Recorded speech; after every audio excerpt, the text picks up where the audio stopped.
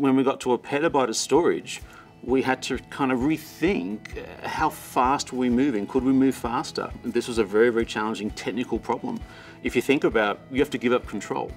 And giving up control is really hard when you're running a SaaS business because you want to own everything and make sure you make great decisions. But by leaving AWS focused on the things that they're great at, by introducing NetApp to our customers and saying that these guys are great at storage, we're in a box seat now to, to really please our customers better. My name's Ian Rouse and I'm the Group Director of Cloud at TechnologyOne. So one of the most exciting things I get to do in the company is I get to lead the architecture and design of our cloud systems. And what that means really is working hand in glove with AWS and its partners. Most customers start from the same position with AWS where they have data centers or lease space and lots of complexity. Our excitement is simplicity.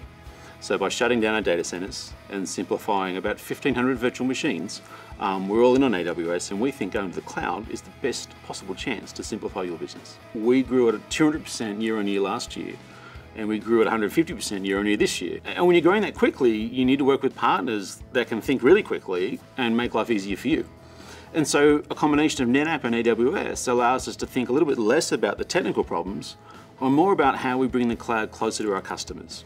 One of the things that we think is very, very important as far as moving to the cloud is this concept of infrastructure as code. And put very plainly, it's about making sure our developers can use the same skills they have today for tomorrow without a lot of retraining. We're now able to move even faster than we thought was possible. We've got really great simple APIs. We can orchestrate infrastructure without having to use really complicated products. And we can actually now deploy customers to the cloud even faster. A really great example is that over the past six months, we've taken a 20 year on-premises customer and we moved into the cloud in five weeks. That's just ridiculous. AWS has taught us one thing.